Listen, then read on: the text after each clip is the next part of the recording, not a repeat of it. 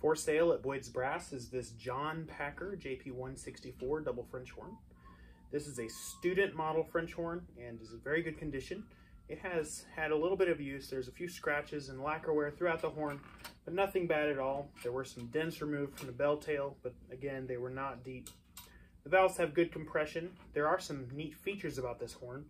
Uh, it is designed for students, so it's a little bit uh, smaller hand grip. So uh, if you have a smaller hand, this would be especially a good horn for you. It also has the option of an adjustable finger hook and a duck flipper is what I call them. A flipper, uh, depends on what you would like. Both are adjustable with a hex nut wrench. Another good feature is mechanical linkage, so you don't have to worry about string, uh, strings breaking or something like that.